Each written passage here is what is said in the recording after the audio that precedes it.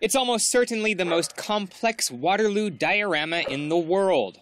A Belgian Waterloo enthusiast has completed a 40 square meter miniature of the battlefield in the cellar of his home.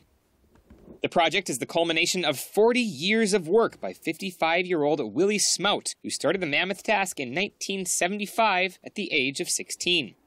I started and continued to work on it all the time, and at a certain moment I asked myself, where am I heading with this project? And so the 200 year anniversary seemed to me like the perfect opportunity to aim for.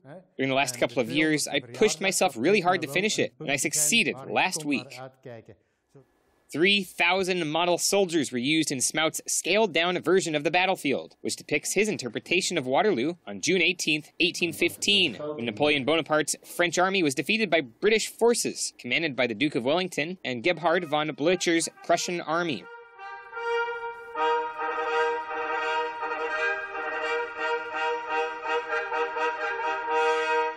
Having completed his life's work, Smout's next big wish would be to one day welcome the descendants of the Duke of Wellington and Napoleon to see the model.